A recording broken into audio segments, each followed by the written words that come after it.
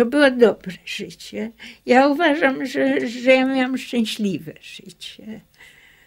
Pewnie, że przychodziły takie chwile, że się żałowało, że się nie ma własnej rodziny, że się nie ma dzieci własnych, ale tak się złożyło, że, że tamto jakby było ważniejsze i w ten sposób ułożyło się życie. Także moje życie było dobre i życzę wielu ludziom takiego życia. Czy się chce długo żyć? No żyję już chyba troszkę za długo, ale tak, no 96 lat, pan to wykreśli. I, ale, I czasem by się już nie chciało żyć, już dosyć ale ciągle jeszcze mi się wydaje, że jeszcze coś zrobię. No te dwa zadania ja muszę jeszcze spełnić. To po prostu nie mogę się poddawać. Muszę się, często się już muszę zmuszać do pracy, tak? Ale y, jeżeli się ma taki cel w życiu, który musi się osiągnąć, wtedy się i chce żyć i żyje się radośnie. Tak to chyba jest.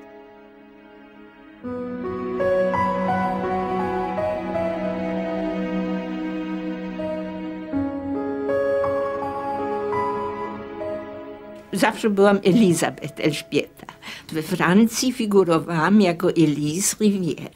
A jako Elisabeth von Braunek, to ja jechałam aż do Danii, do Flensburga.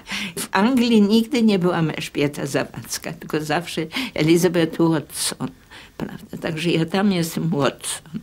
I, I to tak przyrosło do mnie, ja tak znałam swoją legendę, kim ja jestem, jako ta Elise Rivière albo jako ta kupica. Ja zupełnie przestałam być Elżbietą Zawadzką. Kurierką byłam od początku konspiracji. Także ja rzeczywiście znam najrozmaitsze tryki przy przechodzeniu granicy. Ja tę granicę przekraczałam dużo ponad 100 razy. Więc musiałam mieć swoje sposoby. To jest ten własny nos. Wiedziałam, jakiemu strażnikowi co opowiadać, prawda? Znałam niemiecki jak polski zupełnie. Przecież urodziłam się w Toruniu, całkowicie zgermanizowanym mieście. Ojciec był urzędnikiem państwowym. Gdyby w jego domu rodzinnym, a policja by doniosła o tym, mówiło się po polsku, to przestałby być tym urzędnikiem, nie miałby pracy. A więc u nas w domu mówiło się tylko po niemiecku. Jeżeli wydało się, że któreś dziecko umie po polsku, to było nieprzyjęte do gimnazjum, więc trzeba było mówić tylko po niemiecku. I kiedy Pomorze dołączono do Polski, wjazd ten uroczysty, wjazd Halera, który przeżyłam tak mocno i który moja rodzina tak mocno przeżyła, wjazd Halera do Torunia, tak. Wtedy jeszcze nie umiałam po polsku, więc musiałam chodzić do niemieckiej szkoły w Polsce już, no bo nie umiałam po polsku. Pamiętam tylko swoją dziewczęcą radość, kiedy już nauczywszy się po polsku, zdałam egzamin do gimnazjum polskiego i dowiaduję się, że będziemy się, będę się uczyć łaciny. To był szczyt moich dziewczęcych pragnień. Będę się uczyć łaciny. Śmiesznie, nie? Bo bracia się uczyli łaciny. Skończyłam gimnazjum polskie i od razu wiedziałam, idę, do, idę na matematykę. Promotorem mojej pracy matematycznej w magisterskiej był profesor Krygowski. Otóż Krygowski to jest ów słynny profesor uniwersytetu, który miał trzech asystentów. Rejewski był już starszym asystentem Krygowskiego. U nich ja odbywałam swoje ćwiczenia i seminaria matematyczne. Oni już wtedy byli wciągnięci do służby wojskowej, właśnie do szyfrowania potrzebnego w wojsku. Oni już wtedy pracowali w wojsku. O tym myśmy nie wiedzieli. Ja wiem, że wojna trwałaby dłużej, gdyby nie jego enigma. Na ostatnim roku studiów przeżyłam naj, najważniejsze zdarzenie w moim życiu, znaczy wejście do przysposobienia wojskowego kobiet. Tak? Więc wówczas zawsze miałam już dwie służby, którym y, oddawałam swoje siły. To była praca zawodowa, nauczycielska i praca społeczna jako instruktorka przysposobienia wojskowego kobiet to się nazywało w skrócie PWK, przygotowywałyśmy się do służby, bo wiedziałyśmy, że wojna będzie. Także ja związana z myślą o wojnie byłam dokładnie, wiem, od grudnia 1930 roku dwa lata przed wojną y, wzięłam urlop z pracy zawodowej, nauczycielskiej i tylko zajęłam się służbą w przysposobieniu wojskowym kobiet jako komendantka rejonu śląskiego. To był duży rejon, 19 powiatów, gdzie trzeba było szkolić we wszystkich łówcach i tak. To była piękna praca. Było tyle przyjaźni, których nigdzie znalazłabym, bo to wszystko byli zapaleńcy, którzy byli w tym przysposobieniu wojskowym kobiet. Było tak bardzo dużo nauczycieli oddanych całkowicie służbie. Jeżeli mi się zadaje pytanie, czy warto było, bo to była, było często, to była ciężka służba, bywała, ale mało powiedzieć warto, bo to wszystko dawało radość. Ja żyłam radością w czasie tej służby.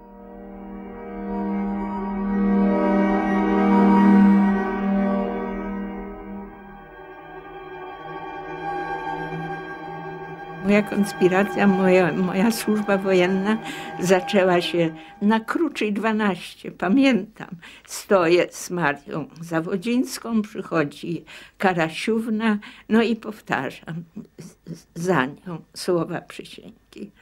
Miałam taką koleżankę, którą ja zaprzysięgałam z kolei, Teresy Delekte. Ona mi potem po wojnie powiedziała, ona włączyła przysięgę do swojej modlitwy rannej i wieczornej. W komendzie głównej był utworzony wydział, nazwaliśmy go Zagrodą, zagraniczny. Myśmy mieli swoje komórki, no, ja miałam swoją w Katowicach, nazwałam go, ją Cyrk. W Berlinie nazwałam ją Sabina Sabina to była mm, współpracownica Jakubiańca, który tam w, japońskim, w japońskiej ambasadzie działał dla Polski. Przerzucał meldunki do Szwecji. Tam była nasza komórka zagrodowa. Tu na Pomorzu była ta komórka piękna Danusia, która przerzucała ludzi y, do Szwecji. Bo ja miałam ułatwioną sprawę tworzenia komórek łączności za granicą. Jakie miałam? To jest bardzo interesujące. Ja przed wojną uczyłam na Śląsku jako nauczycielka matematyki i uczyłam w Tarnowskich Brzegach, Tarnowskie Góry. Tak? Tam byłam komendantką PWK, nauczycielką matematyki i tam przy moim gimnazjum państwowym, obok tego, była druga szkoła. Nazywała się Liceum Raciborzanek. To była szkoła polska dla Polek, córek Polaków mających obywatelstwo niemieckie. I ja, ponieważ znałam tak samo dobrze niemiecki jak polski, a u nich było tak różnie z tym językiem polskim, także był mój język potrzebny, byłam równocześnie nauczycielką tych Raciborzanek. Robiłam im pogadanki, tam wycieczki i tak dalej. Bardzo byłam zżyta z nimi. I one, te Raciborzanki, mieszkały w całej Nadrenii, w Berlinie, gdzie indziej. I ja w czasie wojny mogłam z nich korzystać.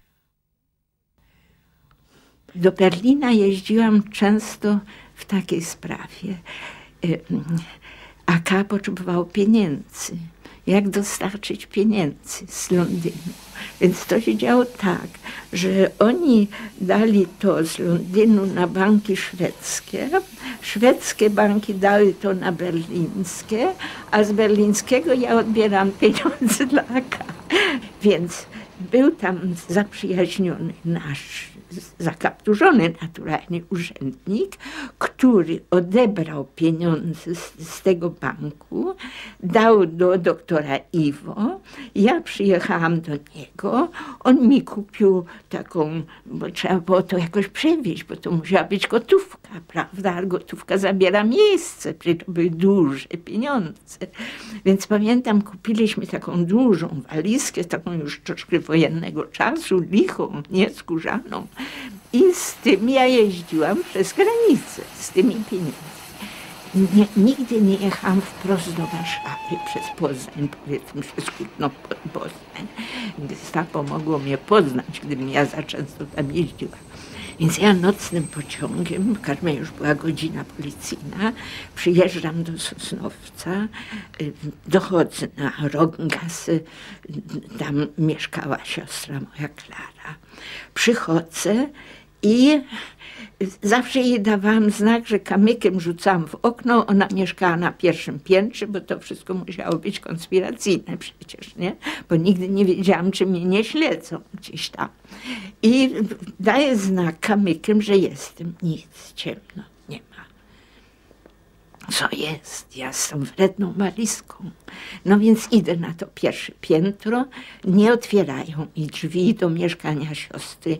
Idę do sąsiadki, którą znałam i ta blada jak trup mówi, co pani tutaj i za, chcę zamknąć drzwi. Wstawiłam jej nogę między ten, nie puściłam ten. I ona mi mówi, dopiero co jakieś dwa dni temu staje się, Klarę zaaresztowali, siostrę.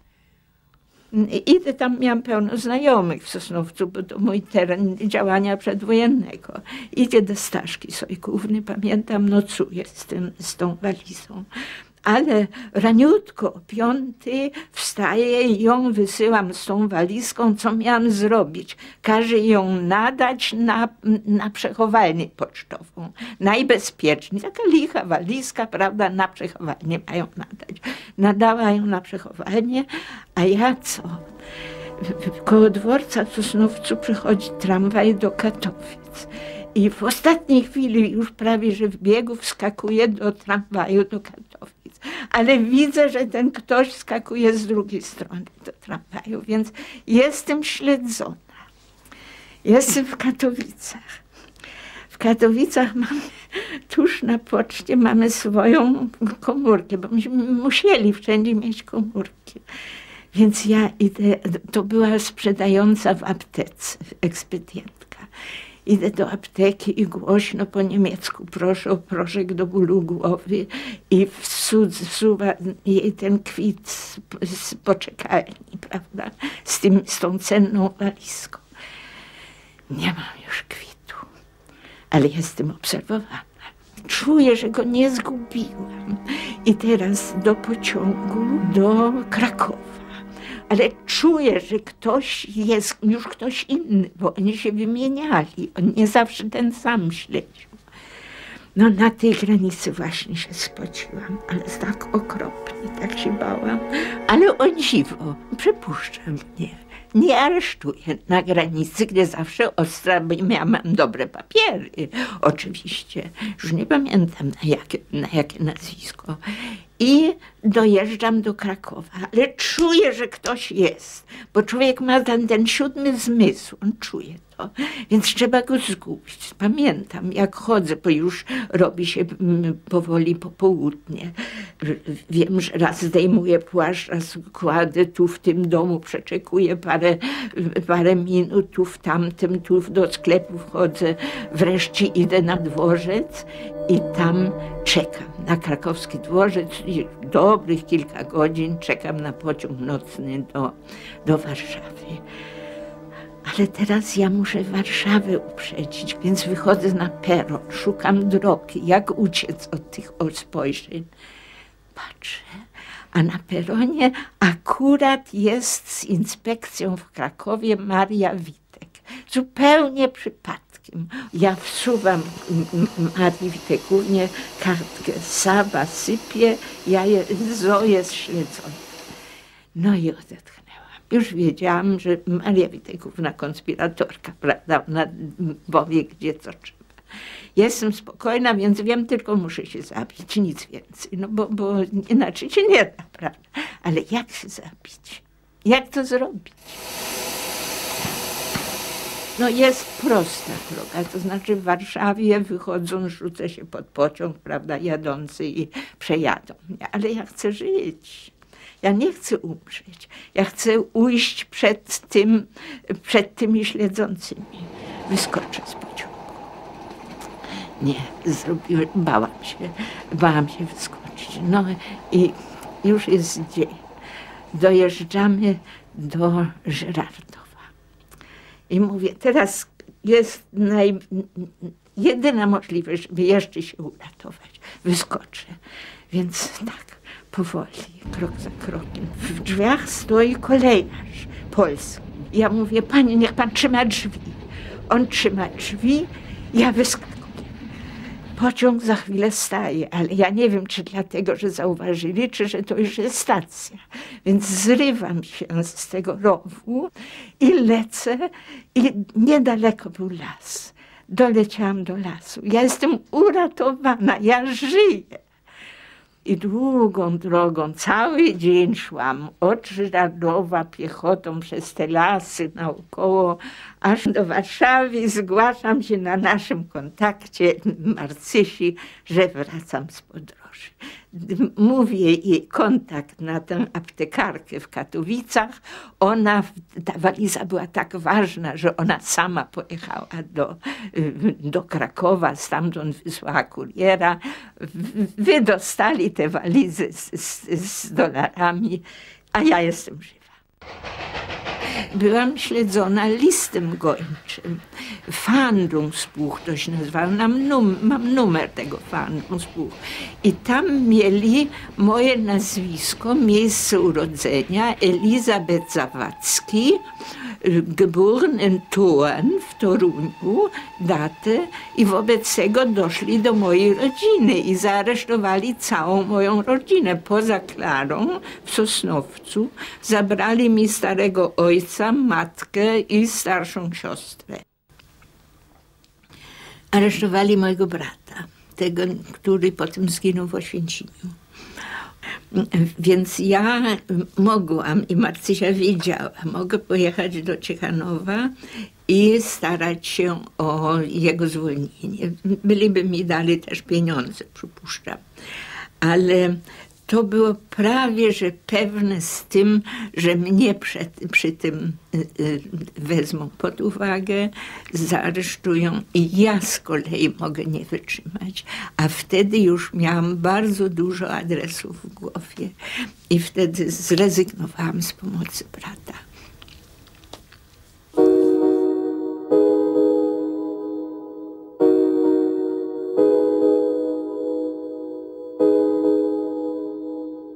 W okresie okupacji, ponieważ moje wyjazdy kurierskie były okresowe, ja mogłam studiować.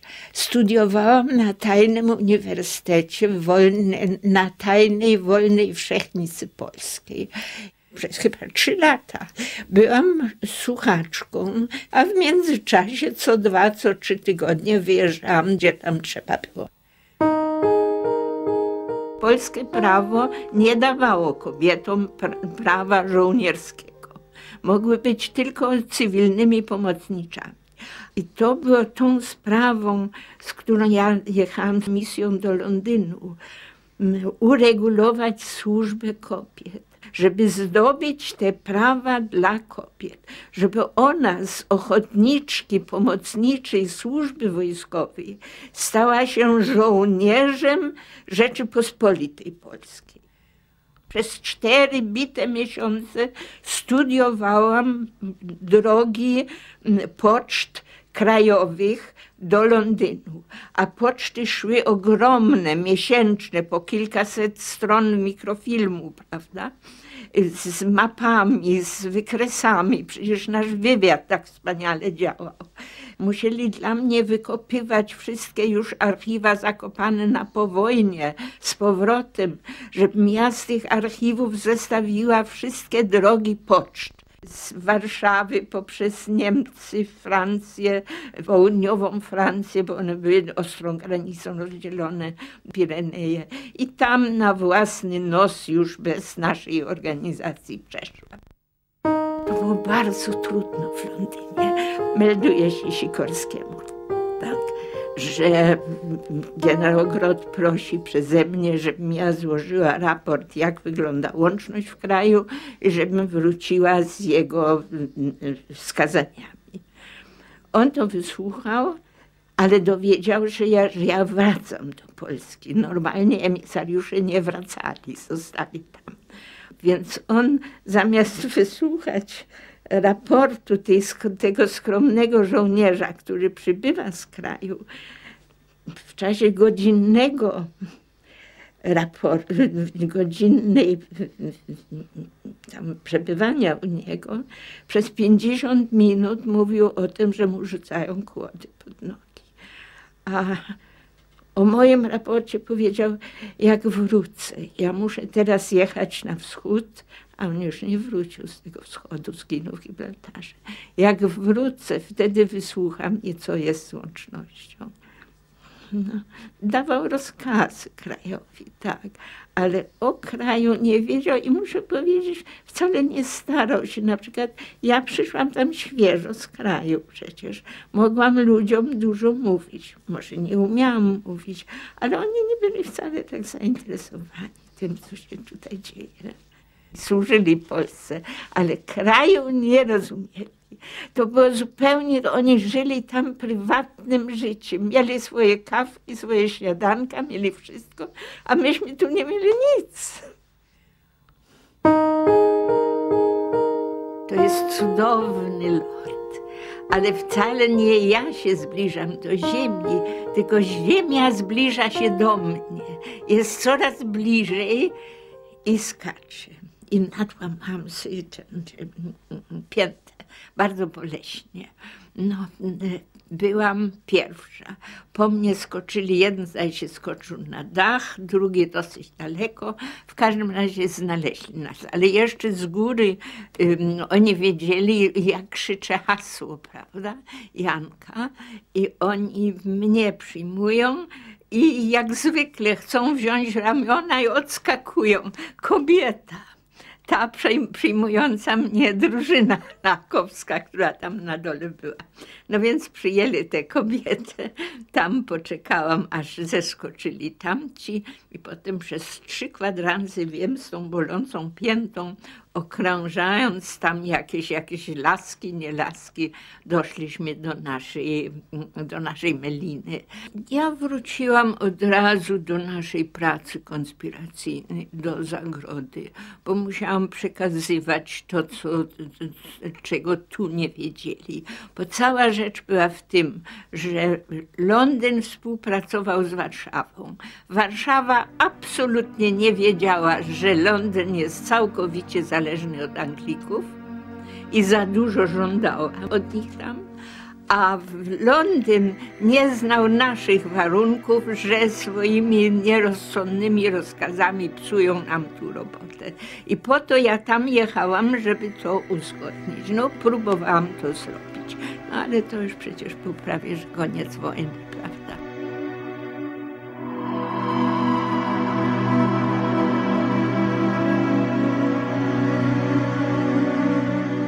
19 stycznia, jeżeli wziąć ten, to ja byłam jeszcze na wyprawie szwajcarskiej. Miałam melinę w, w, w Wiedniu, to się nazywał Walc i tam, stamtąd jechałam z powrotem i chciałam pojechać do Warszawy, normalnie meldować mój powrót. Dojeżdżam do Sosnowca, a tu front. Rosjanie już są. Tak. Miasta. Wróciłam do tej zniszczonej Warszawy.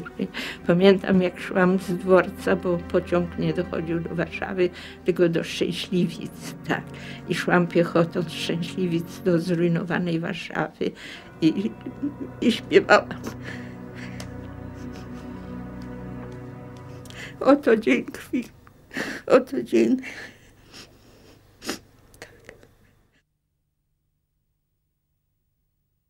Rosjanie mieli takie sposoby przeżarcia społeczeństwa. Wszędzie mieli swoich ludzi, którzy, którzy donosili, a myśmy ich uważali za uczciwych, porządnych Polaków, a oni byli agentami i donosili. I w ten sposób, to, ja nie wiem, kto mnie zdradzał. Komuna urządzała obławy, wielkie obławy, obserwowało długo tak, no, te procesy winowskie, prawda, te więzienia, te straszne aresztowania akowców.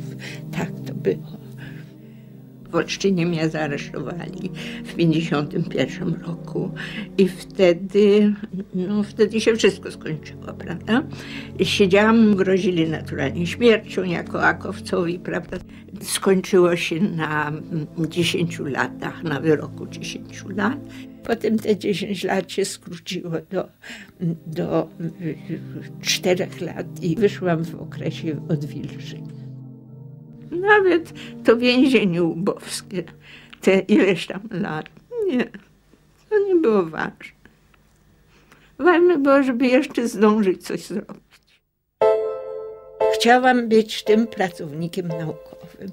I to się udało. Wprawdzie długo trwało po więzieniu, zanim się znowu pozbierałam co trzeba. Raz mi zniszczyli wszystkie materiały naukowe, ale zrobiłam doktorat w 1965 i cały czas tkwiłam teraz w tej dziedzinie naukowej. To wypełniło mi życie.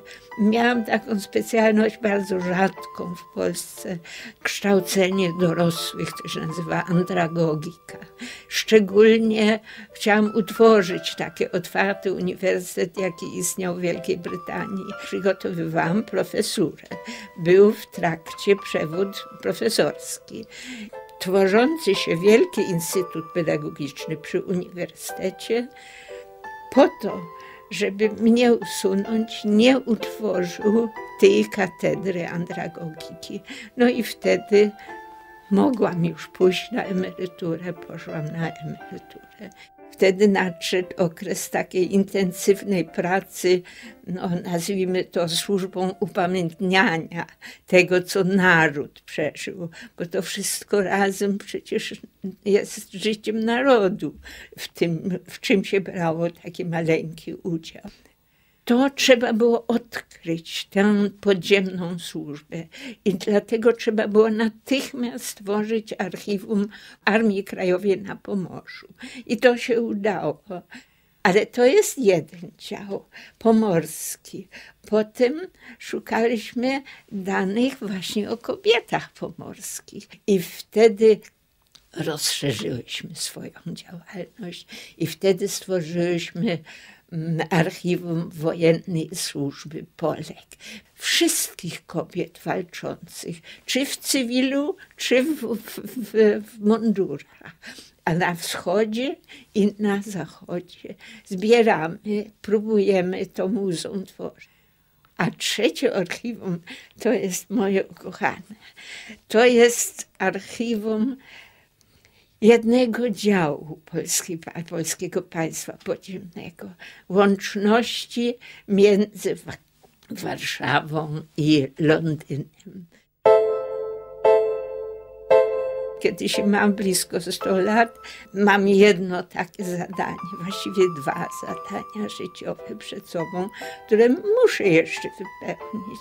To znaczy, jedno to jest zakończenie opracowania słownika kobiet odznaczonych virtuti militari. Ciągle się boję, że nie zdążę tego skończyć, co zaczęłam. A za swoje ostatnie zadanie życiowe uważam, żeby w Warszawie stanął jeszcze pomnik upamiętniający ten wielki czyn kobiecy udział kobiet, połowy narodu w tym, żeby ocalić ten naród. Nie lubię tego słowa bohaterki, bo to nie, nie o to chodzi, bo bohaterski czyn jest jeden, nagły, wielki wysiłek, a tu chodzi o tę stałą służbę, to oddanie całkowite, to poświęcenie rodziny, wszystkiego dla służby. Polska ze siebie wychowuje swoje następne generacje. Ona, Polska bogata kulturowo, lepiej oddziaływuje na poszczególne generacje, wzbogaca je. I to jest ten bieg historii konieczny, żeby ta kultura wzbogacała się coraz bardziej, żeby ta generacja mogła jak najwięcej czerpać, a nie tracić, gubić przez to, że nie istnieje przekaz. Ja uważam, że te przeżycia trzeba przekazać. Naród nie może zgubić żadnego pokolenia. Wasze pokolenie też musi się znaleźć w historii.